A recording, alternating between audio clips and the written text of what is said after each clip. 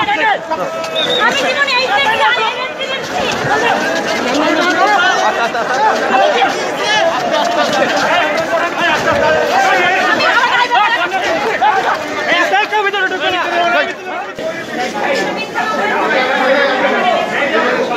আমি আপনারা একটা রিক্সা আমরা হাতে দেওয়া হচ্ছে আর আপনারা মিডিয়া জানানো করতেছেন না মিডিয়ার সামনে ওপেন কি আমার সার্চ করেন ওপেন সার্চ করা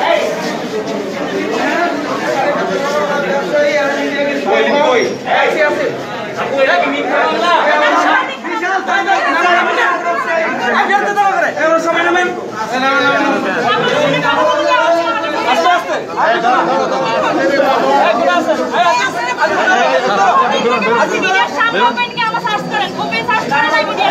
সামনে হাতটা দাও না।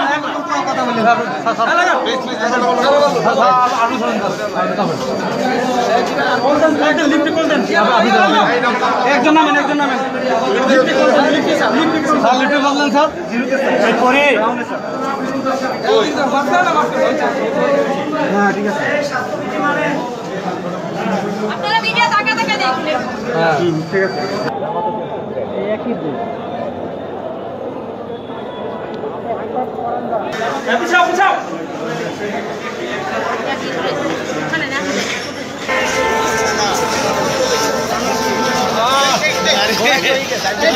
জীবনে সে কিছু কারণে সব মানুষের জন্য দান দান করতে করতে আসে।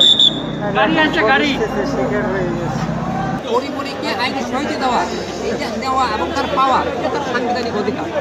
আজকে যে ঘটনাটা ঘটেছে তাকে ইতিপূর্বে চার দিনের রিমান্ডে নেওয়া হয়েছিল এবং তাকে যথেষ্ট জিজ্ঞাসাবাদ করা হয়েছে। এবং সে একশো বাইশ ঘণ্টা সে পুলিশ কাস্টডিতে ছিল। তারপরে তাদের জিজ্ঞাসাবাদ শেষ হয়নি। বিজ্ঞ আদালত সেগুলি আমাদের বক্তব্য শুনেছেন। আমরা কোর্টকে বলেছি যে সে যেন ভারতের চন্দ্রবতীর মতো প্রতিহিংসার শিকার না হয়। সে যেন তার তার যে মেধা তার যে একজন নায়িক হিসেবে তার যে তার যে উত্থান, সেইটা যেন কোনোভাবে বিরক্ত না হয়, সেই জন্য সামাজিক, আমাদের সামাজিক দায়বদ্ধতা থেকে তাকে রিমান্ডে না নেওয়ার জন্য আমরা আবেদন করি। এই মামলায় তার বিরুদ্ধে অভিযোগ করা হয়েছে, তার কাছে মাদক পাওয়া গেছে। এইটা প্রস্তাবিক বিষয় এটা বিচারের বিষয়। তার আগেই তার বিচার করতে পারে না, তার আগে তার বিচার করতে পারে না। তাকে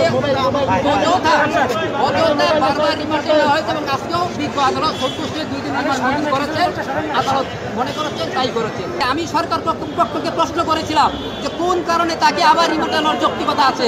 সেটা তারা ব্যাখ্যা করতে পারে বলে আমি মনে করি এবং আমাদের কাছে যে দরখাস্ত দিয়েছে কোর্টে যে তাকে রিমান্ডে নেওয়ার জন্য দরখাস্ত, সেই দরখাস্তের কপিটাও আমরা আজকে ঠিক মতো নিতে পারি না যার জন্য আমরা আমাদের মামলাটা ভালোভাবে ফেসও করতে পারি আমার ক্লায়েন্টের পক্ষ থেকে যারা চেষ্টা করেছিল তার সাথে যোগাযোগ করার জন্য, তাকে তার সাথে দেখা করার জন্য, তাকে প্রয়োজনীয় পত্তা দিয়ে তার কাপড় চোপড় দেওয়ার জন্য তারা সেটা পারে নাই।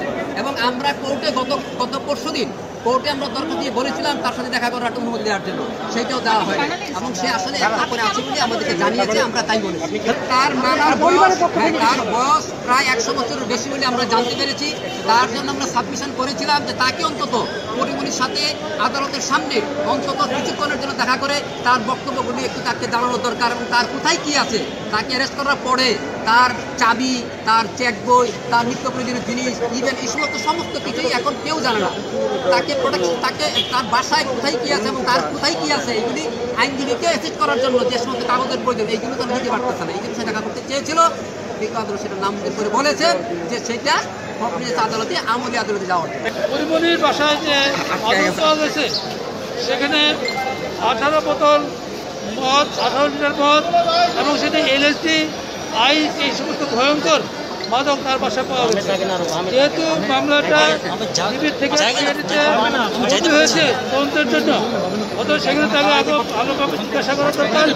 এই যে মাদক তার ভয় ভয়ঙ্কর মাদক যে তার বাসা থেকে উদ্ধার করা হয়েছে এই মাদকের উৎস কোথায় সেটা অবশ্যই জানা দরকার।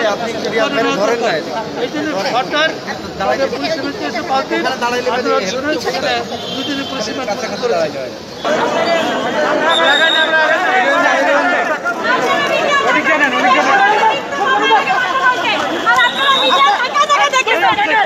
রিমান্ড করেছে আমি জীবনে